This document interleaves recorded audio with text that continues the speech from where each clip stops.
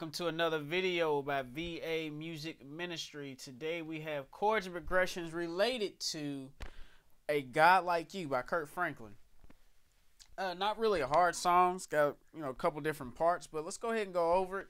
Uh, the rhythm of it might be a little different, uh, but we're gonna go ahead and go over the scale. And I'm gonna show you a couple different ways that you can play it because uh, this is very basic in most sense in most cases. So D flat is the one.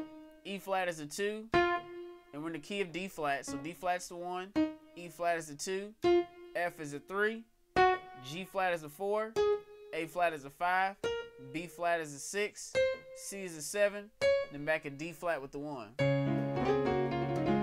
All right, so this is really a standard classical like, and really let me let me do this. I'm gonna take out all the other instruments.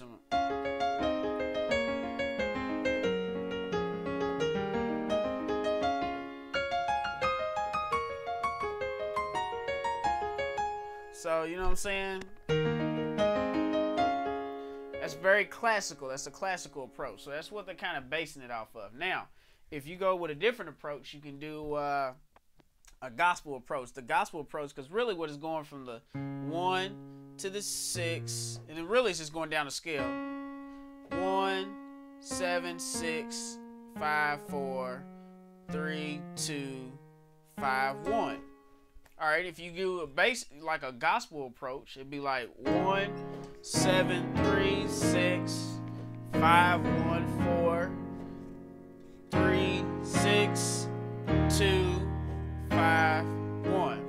And this song, they kind of do a little bit of both, uh, and that's so that's like a gospel approach. So really, this is, you know, basically the same type of movements that they use in classical. Gospel is just they all play it just slightly different. So let's just kind of go over the classical approach because what it well let's go over the notes. Let's go over the the the basics of the song as far as what you need in there to really give the song uh, the flavor that it needs, and that is.